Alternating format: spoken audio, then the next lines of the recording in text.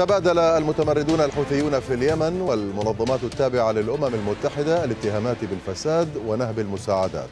فعقب اتهامات وجهتها مسؤولة في الأمم المتحدة للحوثيين بتقييد العملية الإغاثية في مناطق سيطرتهم ومحاولتهم التحكم بالمستفيدين والشركاء المحليين. اتهم القيادي محمد علي الحوثي المنظمات الأممية العاملة في المجال الإنساني والإغاثي. اتهمها بالتلاعب بأموال المانحين. اتهامات متبادلة ليست الأولى من نوعها ولكنها تثير الجدل بشأن عملية إيصال المساعدات الإنسانية الضرورية لمستحقيها في اليمن. معنا الآن من القاهرة مدير الدراسات والبحوث في وزارة حقوق الإنسان اليمنية وليد الأبارة. مساء الخير أستاذ وليد مرحبا بك معنا من جديد في غرفة الأخبار. ما حقيقة هذه الاتهامات؟ أولا بحسب معلوماتكم بين الطرف الانقلابي الطرف الحوثي وبين منظمات الأمم المتحدة من الذي يتلاعب بهذه المساعدات برأيك؟ مساء الخير لك ولكل السادة المشاهدين. أعتقد نحن أمام فضيحة بدأت تظهر إلى السطح وأعتقد أنها قد تؤدي إلى أن تفقد الأمم المتحدة والمنسقية الإنسانية قدرتها على السيطرة على إدارة العمل الإنساني في اليمن.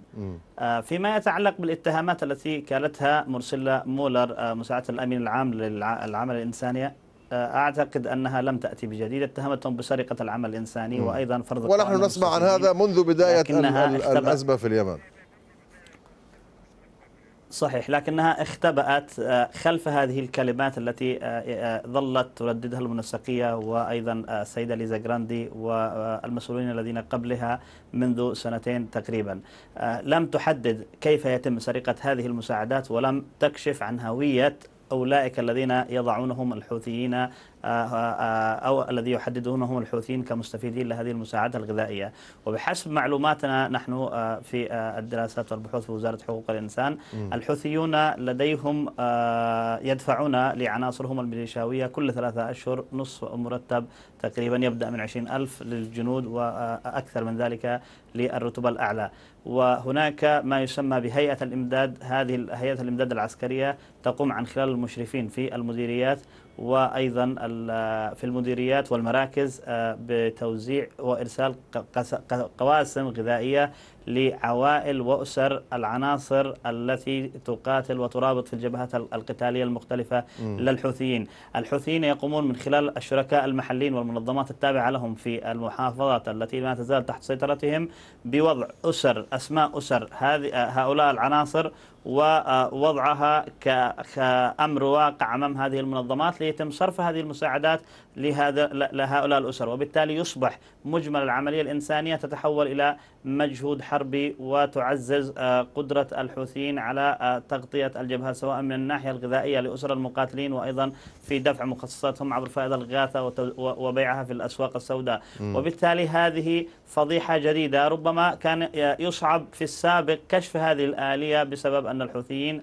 قاموا بإغلاق كل المنظمات الإنسانية والحقوقية المستقلة في المناطق التي يسيطرون عليها كما قاموا بإغلاق القنوات المستقلة وأيضا كل الصحف والمواقع الإخبارية وبالتالي أدى إلى التستر على هذه العملية. الآن أصبح كل شيء واضح. المنسقية الإنسانية بدأت تدرك بأنه يصعب في العام 2020 إقناع الدول المالحة بدعم خطة الاستجابة الإنسانية للعام 2020 والتي قد تتجاوز الخمسة مليار دولار بسبب ما يقوم به الحوثيين من فرض قوام المستفيدين وأيضا اقتحام مخازن المواد الغذائية وأيضا سرقتها وخصخصتها للمجهود الحربي. هذا فيما يتعلق في طبيعة العمل الإنساني. فيما طيب يتعلق أستاذ وليد يعني دعنا يعني نحن لدينا معلومات من من الماضي حول كيفية تصرف الميليشيات الانقلابية مع هذه المساعدات. هناك كما أشارت حضرتك يعني هذه الميليشيات تريد لهذه المساعدات أن تذهب لجهات معينة تريد أن تحدد من هم الشركاء المحليون المنظمات المحلية الذين يتعاملون معهم وكل هذه الأمور هذه معروفة. ولكن على المقلب الآخر من جانب الأمم المتحدة هل هناك تقصير؟ هل هناك يعني نوع من آه، صحيح. اولا علينا أن أن نفهم الإطار القانوني الذي تدير من خلاله الأمم المتحدة الواقع الإنساني في اليمن عبر الخطط الاستجابة الإنسانية المعدة منذ العام 2015 وحتى 2019 آه، آه، نحن هذه لم يعد يندرج توزيع المساعدات ضمن المساعدة الإنسانية وإنما ضمن التدخل الإنساني. نعم بمعنى أن الأمم المتحدة تدير المساعدة الإنسانية بمعزل كلي عن الحكومة الشرعية وحاليا لا يوجد أي سيادة إنسانية للدولة اليمنية على الواقع الإنساني. فيما العديد من المنظمات استغلت ضعف الدولة اليمنية في العام 2014 حين كان الحوثيين في زخم قوتهم وقاموا بإبرام العقود ورفضوا أن آه، يتم آه، آه، انسحاب مقراتهم ومكاتب هذه المنظمات من العاصمة صنعاء إلى المناطق التي تسيطر عليها الحكومة الشرعية وخصوصا بعد تحرير عدن ودعوة الحكومة في أكثر من مناسبة لتلك المنظمات أو للعديد من المنظمات الدولية خصوصا المتخصصة بالعودة للعمل من عدن وتوعدها بتقديم كل التسهيلات التسهيلات آه، سواء القانونية والأمنية والإجرائية لهذه المنظمات بأداء واجبها على أكمل وجه.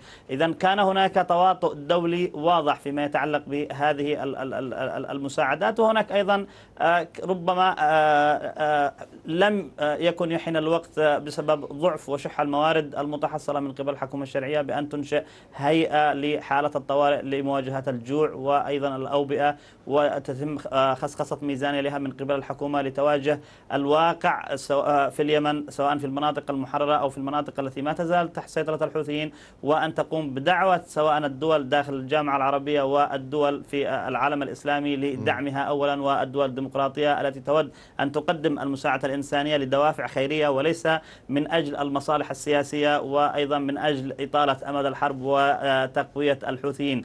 استخدمت كثير من الدول النافذة داخل النظام الدولي طوال السنوات الحرب الماضية مصطلح الإنسانية كثيرا. آه، من أجل آه، تمرير أجندات نعم. سياسية كما حدث في معركة الحديدة. ونحن نشاهد اليوم وباء الكوليرا عاد وباء أرقام الجوعة والمحتاجين للمساعدة الغذائية. ارتفع منذ العام 2018 للعام 2019 بحوالي 3 مليون شخص. من 18 10 مليون شخص محتاج إلى 21 مليون شخص. إذا نحن نتحدث عن ارتفاع متفاقم لكل جوانب الإنسانية سواء فيما يتعلق بالجانب الإيوائي والطبي المتعلق بالنازحين أو فيما يتعلق بالمساعدة الغذائية العاجلة أو فيما يتعلق بتفشي الأوبئة وأيضا نعم. شح التغذية الأطفال. بالإضافة نعم. طيب أستاذ وليد في الدقيقة المتبقية هل المشكلة مقتصرة فقط على المناطق التي تخضع لسيطرة الطرف الانقلابي أم أن المشكلة أيضا موجودة في مناطق آه، آه، الخاضعة لسيطره الحكومة. هناك آه، لا تزال العديد من المنظمات الدولية وشاهدنا الأستاذ عبد الرقيب فتح وزير الإدارة المحلية ورئيس الهيئة العليا للإغاثة واللجنة العليا للإغاثة طالب في أكثر من تصريح بلا مركزية العمل الإغاثي. بمعنى أنه كانت هذه المنظمات تدير عملياتها من العاصمة صنعاء وكان هناك وعود من قبل الأمم المتحدة بفتح خمسة مراكز لإيصال هذه المساعدات أربعة منها في المناطق المحررة. وكان يفترض آه، خلال آه، خطة الخطة آه، خطة الاستجابة الإنسانية العام 2019 أن يتحسن أداء عمل هذه المنظمات. وأيضا طالبنا في وزارة حقوق الإنسان في أكثر من مناسبة أن يتم إعادة النظر في الخطة التشغيلية للمنسقية الإنسانية لهذه المساعدات. على سبيل المثال آه، كنا نأمل أن يتم تخصيص على سبيل المثال البند الأول من هذه المساعدات أن يخصص للمواد الطبية والإيوائية العاجلة للنازحين والفارين من مناطق المواجهات